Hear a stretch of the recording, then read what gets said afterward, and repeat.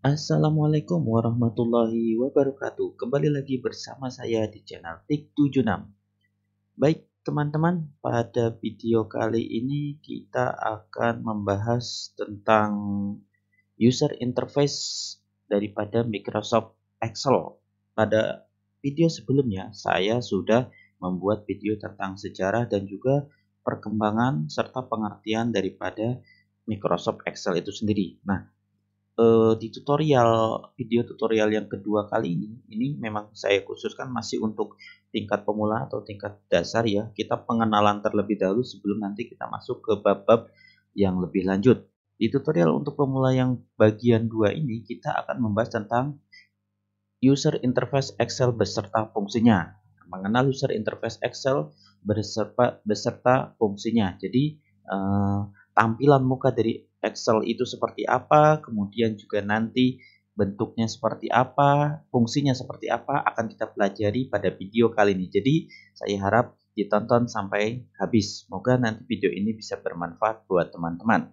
Oke, user interface Excel yang saya bahas kali ini adalah dari versi terakhir yang update yaitu versi Excel 2016 apa aja sih user interface ataupun tampilan muka yang ada di Excel 2016 ini? Oke, yang pertama adalah Start Screen Excel. Nanti di video ini kita akan mengenal user interface Excel. Yang pertama itu Start Screen Excel. Yang kedua, Application Windows Excel. Yang ketiga, Backstage View. Kemudian ada Ribbon Excel. Dan yang terakhir ada Contextual Tab. Oke, kita langsung lanjut saja ke slide selanjutnya. Start Screen Excel. Start Screen Excel pertama kali dimunculkan mulai Excel versi 2013. Start Screen atau tampilan awal saat membuka aplikasi Microsoft Office Excel. Jadi, kalau teman-teman masih menggunakan Excel 2007, tentu Start Screen ini belum ada karena ini muncul pada Excel versi 2013 sampai yang sekarang. Tampilannya adalah seperti ini ya teman-teman ya. Nah, ini. Jadi tampilan awal ketika kita membuka Microsoft Excel 2013 ataupun versi yang lebih tingginya lagi itu tampilan awalnya akan ada yang namanya Start Screen Excel. Kalau kita lihat di panel sebelah kiri ini, ini ada ada menu Excel, ada Home, ada New, ada Open. Nah ini New berarti untuk membuat dokumen baru ataupun workbook ya. Kalau di Excel itu workbook ataupun worksheet baru. Kemudian di bawahnya ada di sini ada account, feedback, dan the option. Ini untuk pengaturan.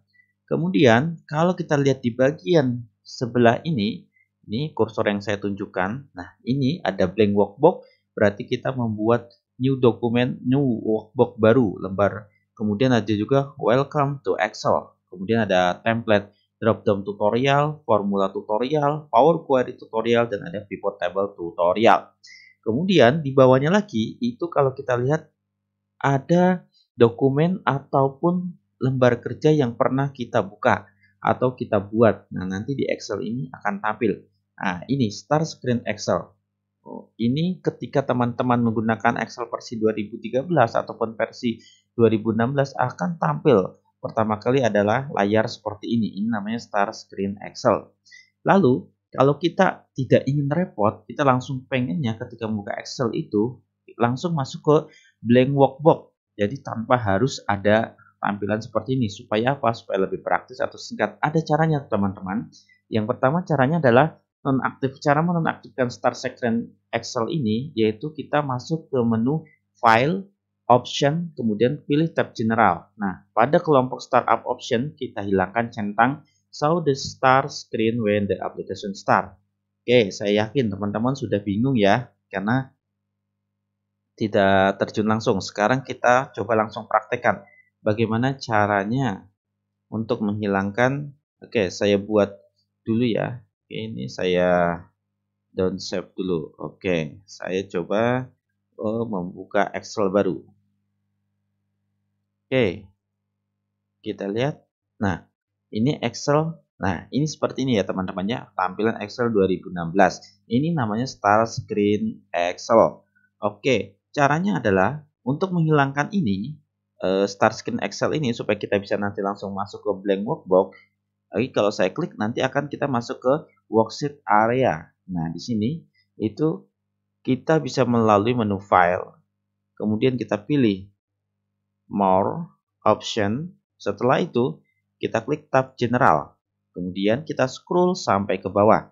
Nah, kalau teman-teman lihat di paling di uh, kumpulan startup option itu di sini nanti ada show the start screen when this application start. Nah, pilihan centang ini teman-teman hilangkan seperti ini. Setelah itu kita klik OK. Oke, sekarang kita tutup dulu. Kita uji. Apakah berhasil ataukah tidak? Kita lihat. Tunggu. Ah, ini. Otomatis kalau dihilangkan tanda centangnya, dia akan langsung menuju workbook ataupun workset lembar kerjanya ini ya, tanpa membuka start screen Excel terlebih dahulu. Itu cara menghilangkan uh, start screen Excel ya teman-temannya. Oke. Selanjutnya, kita akan belajar application Windows pada Excel. Nah, setelah kita mengerti uh, user interface dari Excel 2013 sampai dengan versi yang terakhir saat ini ada yang launching yaitu 2016 itu ada start screen Excel yang kedua adalah application Windows pada Excel kita lihat nah ini atau kita sering sebut tampilan awal ya tampilan awal Eh, lembar kerja daripada Excel. Ini yang 2016 seperti ini. Selanjutnya, bagian-bagian pada aplikasi Windows Excel. Apa aja sih bagian-bagian yang ada pada aplikasi aplikasi Windows Excel? Yang pertama adalah Quick Access Toolbar. Nah, ini yang saya lingkari, yang di atas ini, ini namanya Quick Access Toolbar. Fungsinya untuk apa? Ini adalah sekumpulan tombol-tombol ataupun toolbar untuk mempercepat pekerjaan kita dan ini pun bisa kita atur dari uh, tanda segitiga ini. Saya akan praktekkan. Nah, ini. Ini yang di atas ini, ini namanya quick toolbar. Nah, quick quick access toolbar. Di sini kalau kita ingin membuat dokumen baru atau create a dokumen, nah, ini seperti ini. Lembar kerja baru. Ini kalau untuk membuka dokumen, ini untuk print preview, print preview dan juga untuk print. Oke, kita kembali. Nah, ini bisa kita atur ya teman-teman ya. Quick Access Toolbar ini bisa kita atur mau kita yang mau kita tampilkan di lembar kerja ini ataupun di layar Windows Excel ini apa saja ataupun toolbar apa saja itu bisa kita atur. Misalkan saya mau ini tidak usah opennya, saya hilangkan centangnya, maka otomatis dia akan hilang. Nah, ini adalah Quick Access Toolbar namanya. Yang selanjutnya bagian-bagian yang ada pada aplikasi Windows Excel adalah ribbon. Seperti apa sih ribbon? Nah, ribbon itu seperti ini. Nah, ribbon ini seperti ini ya teman-teman ya. Di sini seperti paste, clip, font, dan lain sebagainya itu namanya ribbon. Kemudian ada formula bar. Kalau formula bar ini, ini dia eh, sudah dari Excel yang pertama kali muncul itu sudah ada. Di sini biasanya kita gunakan untuk menuliskan rumus-rumus dan juga function di Excel untuk perhitungan aritmatika, logika, bisa juga digunakan untuk perhitungan akuntansi. Oke, selanjutnya worksheet area ataupun lembar kerja. Ya, biasanya kita bekerja pada Excel itu ada di worksheet area. Nah, ini namanya worksheet area. Ini yang terdiri dari kolom dan baris. Kolom itu yang mana? Ini abjad ini ya. Abjad ini A, B, C dan seterusnya itu dinamakan kolom. Sedangkan kalau Angka 1, 2, 3, dan seterusnya itu dinamakan baris ataupun row, kolom dan row. Kemudian kumpulan ataupun eh, pertemuan antara baris dan kolom itu dinamakan dengan sel. Misalkan saya yang aktif, maaf, seperti ini. Saya contohkan terlebih dahulu. Nah, misalkan saya kursor saya atau pointer saya itu ada di kolom B, terus kemudian baris kedua. Maka B2 ini dinamakan dengan sel. Nih, B2 ini dinamakan dengan sel. Seperti itu ya teman-teman ya, kalau di dalam Excel. Selanjutnya, apa saja sih bagian-bagian yang ada pada Word ataupun Windows application Excel? Ya, eh, terakhir yang terakhir adalah ini ya, saya kelewatan ini membuat tutorial. Ini status bar ini ada status bar ini yang ada di bawah sini ya teman-teman ya. Itu untuk menunjukkan apa yang sedang aktif dan apa yang sedang dikerjakan. Oke, selanjutnya user interface dari Excel yang akan kita pelajari adalah Backstage View Excel. Apa sih Backstage View Excel itu? Excel akan muncul saat kita mengklik menu file yang ada di sebelah tab Home pada ribbon. Mulai diperkenalkan sejak versi Excel 2010. Jadi kalau teman-teman menggunakan Excel 2007 tentu eh, Backstage View ini belum ada. Oke, kita lihat.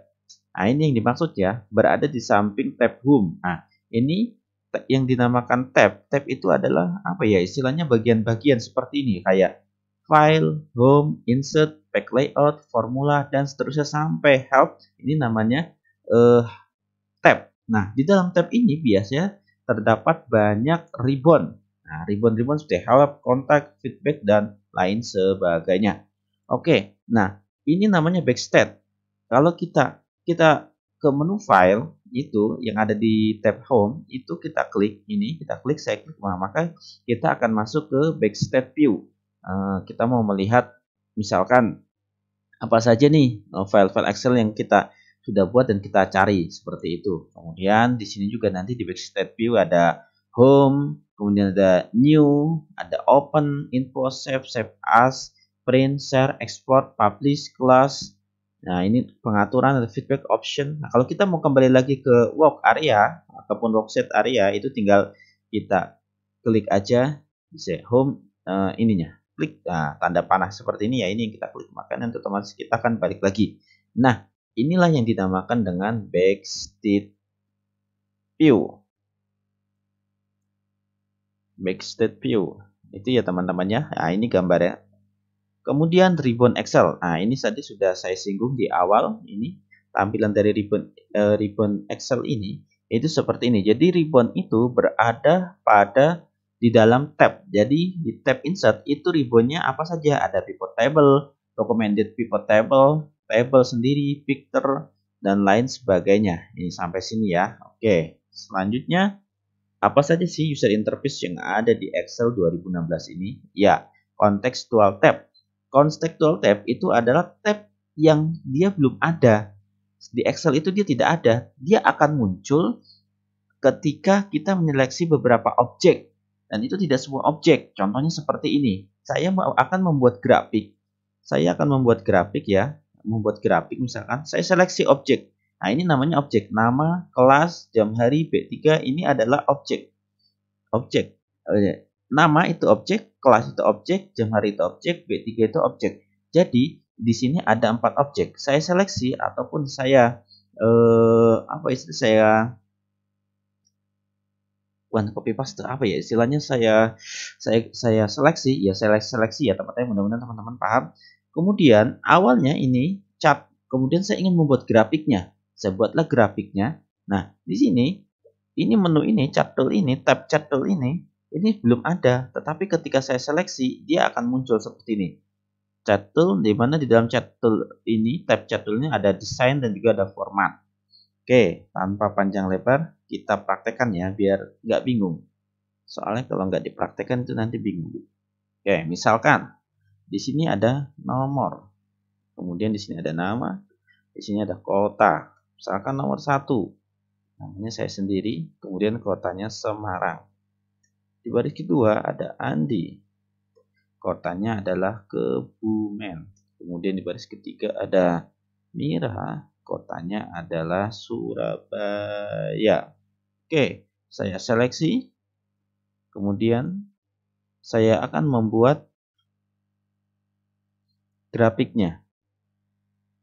Asal aja ya grafiknya. Misalkan seperti ini. Nah, ini awalnya belum ada. Oke, coba teman-teman perhatikan. Lihat ketika saya membuat grafik, nah grafik dari seleksi ini tadi ini awalnya belum ada tool ini, tab tool ini dia belum ada. Kemudian ketika saya buat dia akan muncul sendiri. Nah inilah yang dinamakan contextual tab. Ya kontekstual itu ya dia fleksibel. Ada karena ada beberapa objek yang diseleksi. Nah ini objek ini karena saya seleksi kemudian saya buatkan grafiknya maka otomatis akan muncul karena ini grafik chart maka dia akan muncul chart tool tab chart tool yaitu desain dan format kalau kita klik di dalam desain itu nanti kita bisa memilih jenis grafiknya yang mau dibuat grafik apa kemudian kalau kita format ini nanti mulai dari uh, jenis huruf, terus kemudian seleksi pen dan lain sebagainya.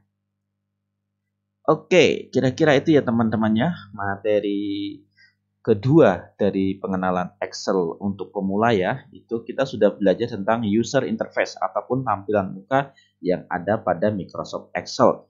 Asumsinya adalah Microsoft Excel yang saya kenalkan di sini adalah eh, Microsoft Excel 2016 atau Microsoft Excel yang ya di paling rendah 2013 sampai dengan 2016. Kenapa? Karena kalau yang 2000 2010 ke bawah itu dia belum ada start screen Excel.